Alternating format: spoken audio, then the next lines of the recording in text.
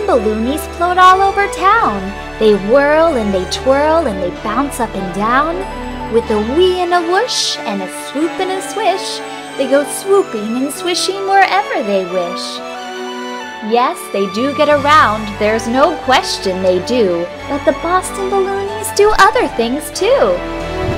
Like have fun! For example, they're quite fond of music, you know, and they're never too busy to put on a show.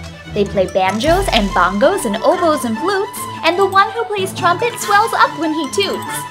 I know what you're thinking, that's too good to miss, but that's only half of it. Listen to this! The Balloonies showed up at the Common one day and presented a Boston Balloonie Ballet! Most people say it was quite a display, and then the Balloonies flew off on their way. Those loony balloonies Boston Balloonies, like all Shankman and O'Neill books, is available on Amazon.com.